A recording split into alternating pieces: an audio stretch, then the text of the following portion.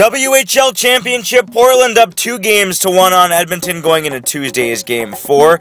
Skip to the third period, now 3-1 Oil Kings. Ashton Sautner from the point lets this bullet go, trying to seal it, but Carruth makes a stop and holds on for dear life. Good thing, because right after Marcel Noebels in the corner spins and finds Sven Baertschi, and he goes five-hole on Laurent Brossoit. Baertschi's 12th of the playoffs, 3-2 Edmonton.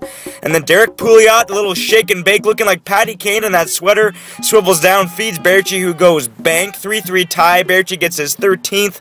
11 minutes to go, and we're all knotted up. These teams were firing last night, 42 shots each.